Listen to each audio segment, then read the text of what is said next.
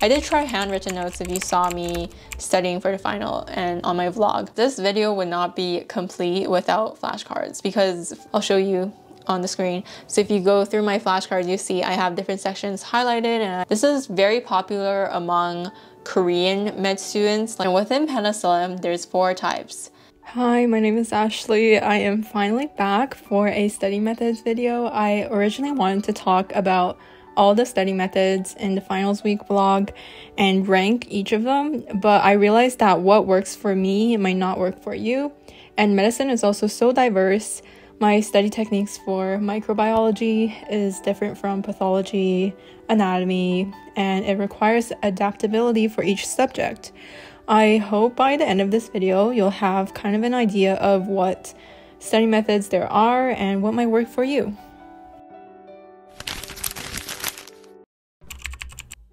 During the lecture, there's students that are listening and not listening, paying attention and not paying attention. I this because I've done this before. But so basically, our students that are not paying attention, we kind of study on our own during the lecture, almost like that, but we still keep an ear on the lecture in case they mention something that will be high yield, like this is going to be on the exam, this is something important. Spend this time to make flashcards and make notes because there's no time to make flashcards later, so we kind of make it in, during class while the lecture is going on and keeping an, ear on what the lecturer is saying. So that is one of it. Also, I don't know if you have, but I definitely have heard and watched videos of YouTubers talking about how they don't take notes during class and um, why taking a notes in class is like a waste of time, something like that. I do agree with this, but only to an extent. So previously, I know a lot of students, like medical students, people in my class that make notes during class, like kind of transferring what is on the lecture slides into like a document. Um, we don't really do that anymore. We kind of just write down anything extra that the lecturer is saying instead. For for what I do, if you watch my vlogs, you know that I love annotating. So I typically annotate my lectures. I convert it to PDF and annotate on my iPad. I also really like writing on the side. I do this aiming to make me more focused during the lecture, but I actually find that I still drift away even though I try to annotate during the lecture. And I actually don't read my annotations that much, especially for finals. I don't read them. For the last few lectures though, I've tried typing out my annotations instead of writing them. That was definitely really helpful and a lot more efficient in helping me focus during the lecture, but there's so much like evidence about how writing enhances your memory. So I haven't decided exactly whether I should type my annotations or write them yet. After the lecture, I still like annotating my notes and I typically create a margin and I summarize what is on the slides into that margin. I highlight and write little notes on my PDF.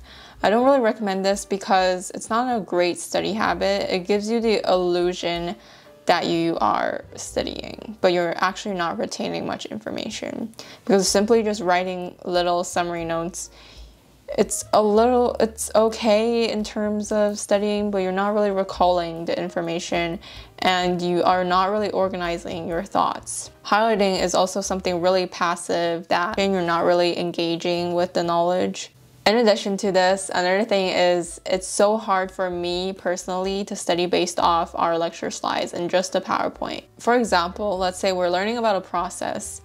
The lecture slide spreads out the knowledge, so it's hard to distinctly distinguish each step. And another example is let's say we talk about treatment plans for a disease, and it's a complex disease. There's different treatment plans for different subcategories of this disease, and it's hard to link and relate everything together because the information is spread out onto like your little slides and it's hard to really study based off just the PDF. You kind of have to make notes. Like at least for me, I can't really just gather all my information just by looking at the slides and making and highlighting on the slides. I have to kind of gather my thoughts together.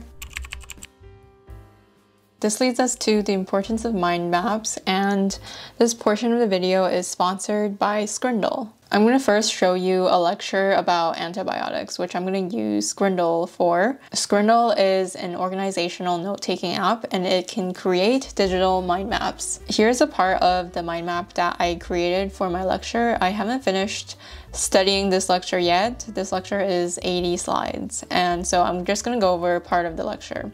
So first taking a look at the slides. This slide is about antibiotics gram-positive and gram-negative bacteria, and there are different antibacterial agents. So there's protein synthesis inhibitors, cell wall inhibitors, nucleic acid inhibitors, um, so DNA synthesis inhibitors. So these are the different types. So this is cell wall inhibitors, cross-linking, and for cell wall inhibitors, there are two classes, beta-lactams and glycopeptides. And let's look at beta-lactams first. So for beta-lactams, if you see here, there are four types of beta-lactams. Penicillin, cephalosporin, blah, blah, blah. And within penicillin, there's four types. There's already four types of beta-lactams, and within one of the four types, penicillin, there's four types as well. Pen and then cephalosporin relate to penicillin because they have similar profile and mechanism of action. So this is just two separate things, but they have like a small connection together, which is why you need mind maps to help you like gather your thoughts and treatment plans. If you're studying medicine and you don't use mind maps, I'm speechless. You must be a genius. I can't. And I've actually used mind maps that are not Scrintal before, which is why I like Scrintal so much because in Scrintal, you can personalize and move your cards around. And in like previous subscription digital mind map apps like i couldn't move the cards around. It were like they were automatic. It's like automatically right here and everywhere. But for Scrintal, you can move them freely which is something that I really like. This way you can shrink the mind map a little bit and have all the text and different sections together. So this is what I really like about Scrintal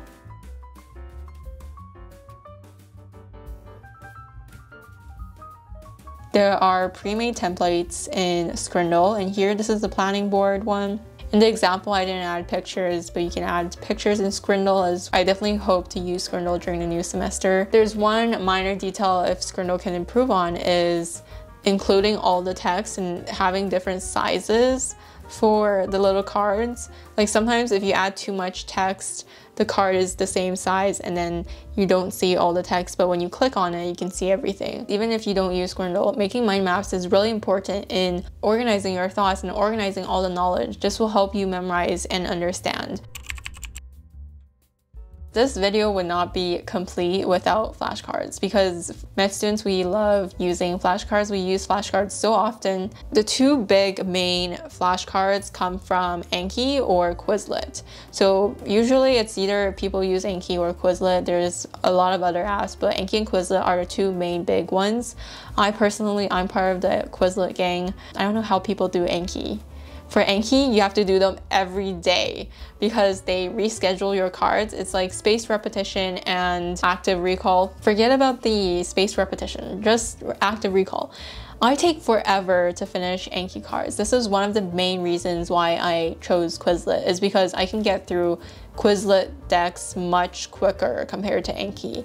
For Anki, like I have to, it would take me three hours to finish a 200 card deck and on Quizlet, it might only take me two hours. So that's the main difference here. Quizlet, I'm a lot faster when it comes to finishing flashcard decks. Also the Quizlet interface is a lot nicer and more modern compared to Anki, but I am going to try to use Anki this semester. People from upper years, they usually pass down their flashcards, so I've been using the Quizlet decks from people from upper years. But for Anki, I couldn't. I just couldn't. I have to make my own cards to finish my Anki decks. I like my flashcards big.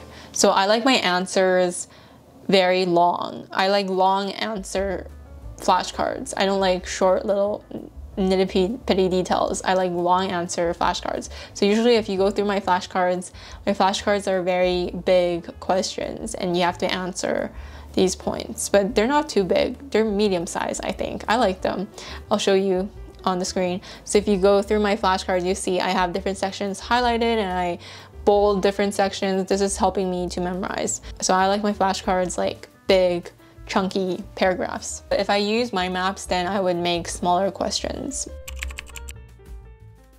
Lastly, we're gonna talk about notes. I'm gonna start with OneNote. So I make chart notes. So I have my notes as a chart and a table. I have one side and the other side. It's kind of like my margin idea still. I have big questions on the left side of the table and then one column of the table and the other column of the table have all like the answers, like my actual notes. I don't think I'm gonna really do this anymore. This is because for OneNote, you can't really export your notes and print your notes out and I kind of need this printing my notes out feature. This is because I have oral exams and during the oral exams while you wait, you can bring your notes with you, but they have to be, they can't be digital. You can't have anything digital. It have to be paper. You can read your paper notes while you wait for your turn. So that's why I need to print out my notes and OneNote would just not work for that. This is a similar thing with Notion. I actually really like Notion's toggle notes. So if you don't require printing on your notes, you can consider using Notion as well. You can have like toggle notes and this is really similar to flashcards. You can like toggle the note and then like see the note or not, kind of giving that active recall aspect. It's very popular among the YouTube study community as well. The reason why I also don't use Notion is because when you print out the notes, the font is very big. So this is something that I don't really like. And but I didn't use it for immunology. It was very helpful for me to understand the question. But um, I would want to print out my notes, so it wouldn't really work written notes, physical written notes on blank pieces of white paper. This is very popular among Korean med students. Like I always see them like doing this and they like fold a piece of paper and they write out their notes and like it's kind of like a summary. They don't really copy everything. It's more like processing the information. For me i wouldn't write my notes out because when i printed the notes out that were like tiny fonts it was like this thick and this wasn't even all my notes. It was like the thickness of a textbook. I did try handwritten notes if you saw me studying for the final and on my vlog. It's okay, I would use it for lectures that are boring. So lectures that or lectures that are hard and you have a hard time focusing because it's so hard and you don't really understand much or you're so tired you're not really focusing and your brain isn't really retaining the information, then I would write them out. So this would help me focus more because I'm physically writing. Other times I would write handwritten notes if I have extra time, but I'm still deciding because for, for typing my notes, if I use GoodNotes and I type my notes out on a piece of paper, like with a half and half, if I do it on GoodNotes, then I might do handwritten notes. But if I do it on Google Docs, then there's no handwritten notes. I haven't decided exactly what I'm gonna do yet. It will depend on what lectures I have this semester. But mostly, I kind of have an idea of what I want to do. I hope you have kind of gathered a lot of study methods that med students typically use from this video and I hope you enjoyed. I will see you next video. Bye.